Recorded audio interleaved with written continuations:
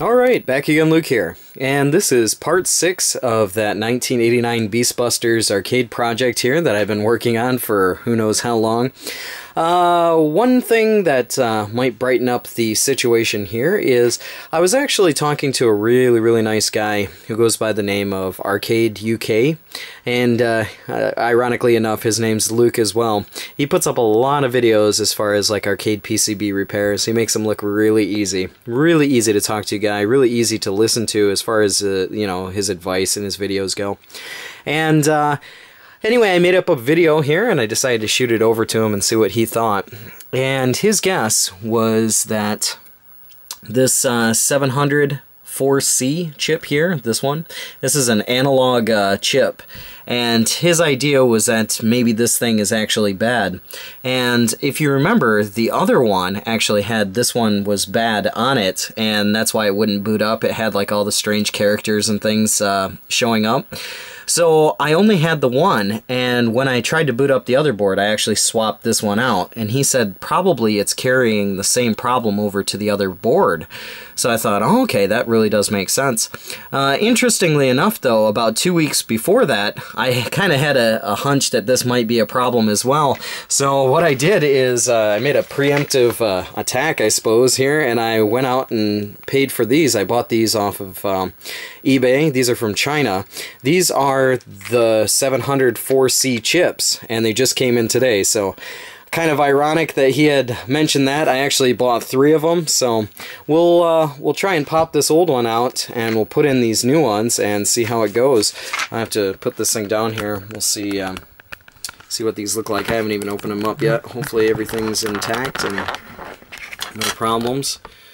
Try and open this beast up here for the beast.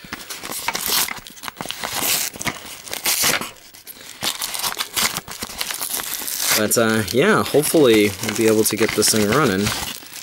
Alright, well it's in a plastic bag. Good. Doo -doo -doo and there they be. That is the chips here. So let's uh, get one of these out. And whoa! As we bump the camera and almost knock it over. Craziness. Alright, so we've got our chip there. You can see the legs are a bit sprawled out, so we're going to uh, kind of bend these down a bit here. Find a flat surface just to bend them in a little bit. That way they'll slide in. Maybe a bit more. But uh, it'd be really nice if this fixes the situation, because this was driving me mad. Alright, so we got that there. Next thing we're going to have to do is uh, remove the old one, which means that we're going to have to do some kind of crazy stuff here. Maybe we can get this to stay down here, possibly. I don't know, we'll see. so I just got a regular flathead screwdriver here. This one shouldn't be too difficult to pop up. It's in a socket, so yeah, it comes out piece of cake. So look at this here. Always want to make sure that you put this thing in the proper way where the notch is facing the correct direction. Make sure that you don't bend any legs when you pop that in. That looks pretty good. And see, we've got dip switch number 8 we'll be putting up there. And that should be ready to go. So let's uh, let's try this out here. Uh, let's see if I can find something to set the camera on while we test it. That way you guys can see exactly what goes on as I see what goes on with this thing. And we'll pop this back up here. And get up there. Okay. That should be alright. So let's turn the power on here. Friendly sound that I've heard about a million times here. Alright. So, well that's kind of stretched out. Looks very stretched out. Is that, uh, do I have the monitor in the wrong setting? Probably do. Let's see, up, up. There we go. That's a little bit better. had it in 31 uh, kilohertz there for my other um, biohazard game. Alright, let's try this. Let's try and turn off the lights a little bit, make it a little easier to see. Alright, we got top, middle, bottom. Try this one again. Top, middle, bottom. And we'll remove number one again. And we'll put that on number three.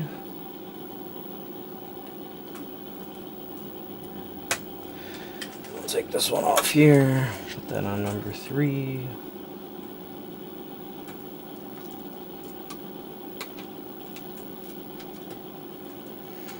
Alright, we'll do this again. Let's see, top, middle, bottom, and player two's gun error. No! what is going on with this thing?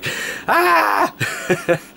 player two has a gun error. This is driving me nuts. Alright, you know what we're gonna do? We're gonna turn this off, and we're just gonna use player one and see if that does anything. Oh my gosh. Ridiculous. At least it's doing something different now, so that's good. We'll uh, we'll disconnect that. Disconnect player two, and we'll just use player one for now. Let's see. Okay, let's turn this back. Oh, let's plug in player one to player one.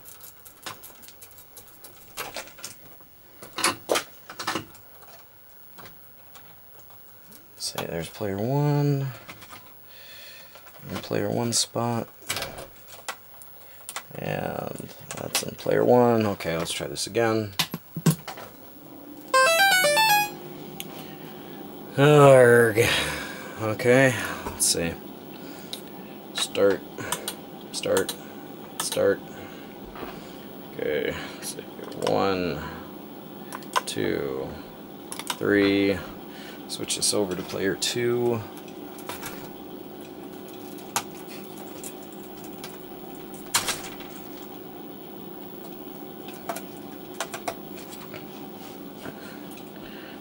One, two, three. Let's try player three.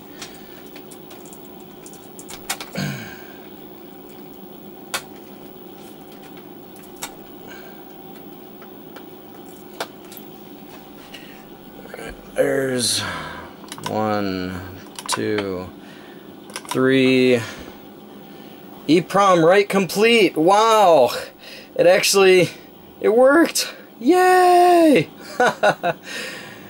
wow. What the, what do I have to do here? Do I have to shoot again? Because this is irritating.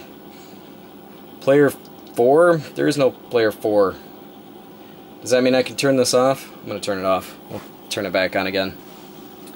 Ah, there might be a chance this, this thing actually works. Let's see, four gun position, player one. I don't know what that is. Maybe that's just doing it again. But at least it said uh, write complete, so we're going to do this. We're going to put the dip switch back up. Then we will turn this back on, and hopefully it will let us go into the game. Yes, it does! Woohoo! It's alive! It's alive again! Oh, I'm so happy to be able to see the title screen again. This thing drives me nuts. I hate it, but I love it. Okay, let's see if it registers anything here with the, uh, well, let's see how, how the first gun shoots. So there's an error with gun 2 somewhere. I don't know what's going on. I'll have to double check that. But something's bad. So let's put in a couple coins.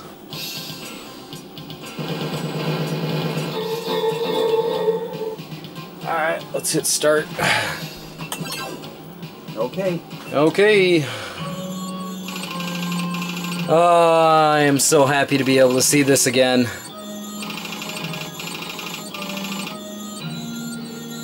Let's see. Person 1. Okay. Well, we can kill stuff now. It's a. It seems a little bit sloppy here as far as the uh, um, the EEPROM or not the EEPROM. What am I talking about? As far as the uh, pot goes, it, it's not exactly the best here. I think I'll have to retry it again, but it is working, and I can kill stuff. It's alive, guys. So there we go. Stage. Uh, what did it take? About six uh, six videos here to get it going, but uh, nonetheless, we are ready to rock. Just want to say a, uh, a huge thanks too to um, Arcade UK for uh, recommending the same thing that I thought would be bad as well, but actually, you know, he's a, a fantastic guy, really knows a lot about uh, arcade circuit boards, and to be honest, I think without him I would go mad. he's a really good guy, and if you guys are interested in the stuff that I do, you should definitely go over and check him out as well.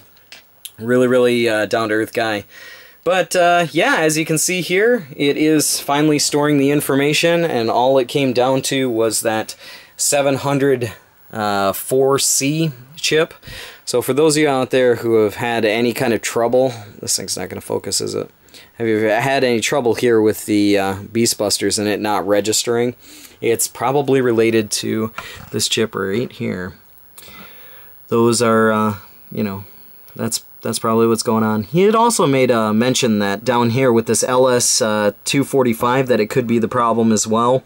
And to check the traces on the bottom here of, of the board as well as the socket for this. Uh, because if the socket's a little bit loose then it won't, um, it won't work either. So. But yeah, it's uh, it's there. It's almost ready, and I think maybe give it a couple more days or so, and I'll get everything all wired up and kind of fine-tuned here, and we'll do some gameplay on this monster. But that's about all for me for right now. Like always, I'll put up another video here soon, so thanks for watching. Watching the Beast Busters saga! Yay! Da-dum. Alright, so what I thought I'd do here at the very end is put up another little update, and I managed to get both of these guns working, and you won't believe it, uh, there was uh, quite a few problems that were still remaining with these two guns, but they were really, really intermittent, and it was really difficult to see. As you can see here, I have uh, a lot of wires, uh, wire ends that I have snipped off, and a lot of the problems were coming from some like hit and miss connections. So especially around in this area, I replaced all of them. There was one of the ground wires that was a little bit uh, bare, so I decided to remove that and I put new wires on here. I also did the same thing on this side, and I did it on the front here as well. But uh, yeah, it's something where these wires are so stuck in there and they're usually kind of zip tied in. You can't see exactly what's wrong with them. And normally with this uh, with this setup here, the way that they were held in there, it was difficult to find any problem. And the only reason why I found it was that I was uh, messing around with the uh, the positioning here. Trying to do this uh, two-handed was extremely difficult. but what I was doing is I was using my uh, my multimeter and I was trying to test continuity between all of these wires. And you know lo and behold you come across a couple of wires. Here's uh here's one end. Here's the other end. Let's see. Now it's gonna do it isn't it?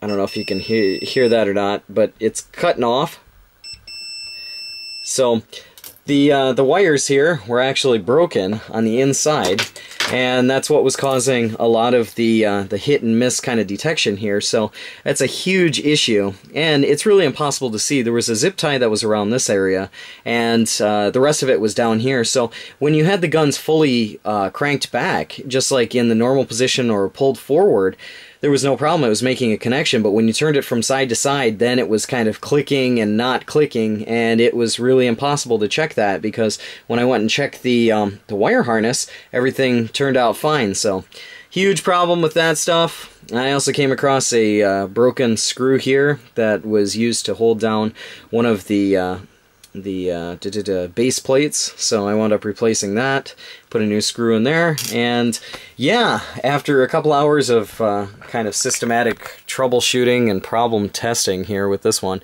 I was able to get uh, gun 1 and gun 2 ready to go. So they're both done. I went through the EEPROM um, initiation sequence and they both registered and it both said uh, initiation complete, so yeah, these things are ready to go, and uh, all I'm going to do is try and put these things back together. As you can see, they're still half, um, you know, kind of bare here. I'll put the bottom plates on, and then we're going to do some zombie killing here around the time of uh, Halloween. So that should work out really nicely. But yeah, so probably the next, I don't know, day or so, maybe tomorrow or so, I'll put up uh, a video on some Beast Busters action. Finally, get a chance to play this thing after having the board for who knows how long. It's been a really long time, but uh, it's it's time to do some zombie killing. So, yeah, nonetheless, just want to share this little final note here with you guys and let you know what's going on. And yeah, that's about all for me for right now. Like always, I'll put up another video here soon. So, thanks for watching. And tomorrow we'll be watching Zombies Die.